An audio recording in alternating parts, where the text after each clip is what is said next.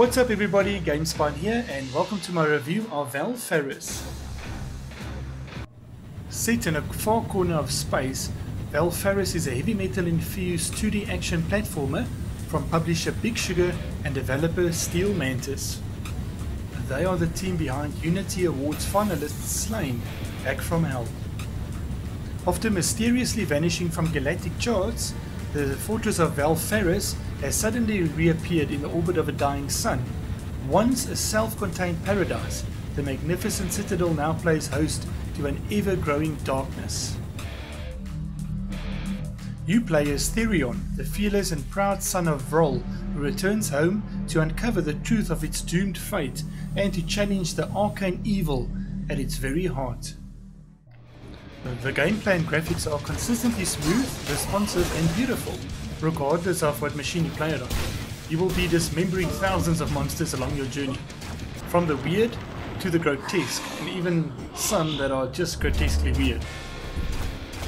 Each enemy is hand animated, and each has a unique level of creativity bolstered by distinctive fighting styles. This is a good thing because the game throws a lot of enemies at the player, at your disposal are flamethrowers, laser beams, shotguns, rocket launchers, energy swords, tentacle weapons, a gun that shoots gold skulls, and a, a heavy cannon called the Envoy of Destruction.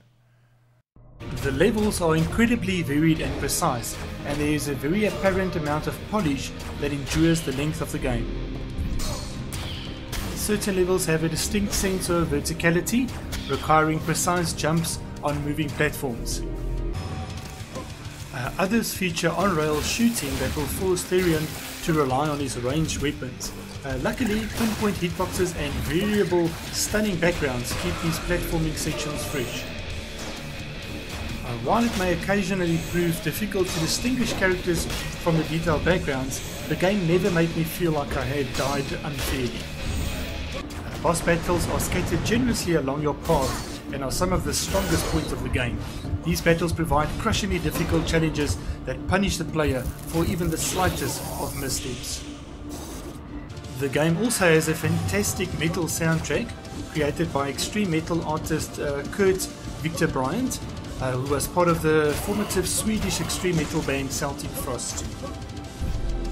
Almost every monster explodes in a shower of body parts, and projectiles buzz with energy and blue lightning.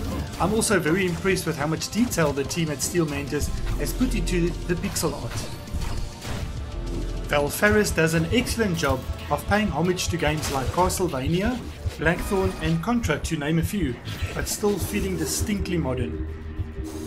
So it's a great combination of various elements in my opinion, well worth the time and effort. Thank you so much for watching guys, I really appreciate it. Let me know what you guys think of Valfaris in the comment section down below. Have a great day and I'll see you all in the next one.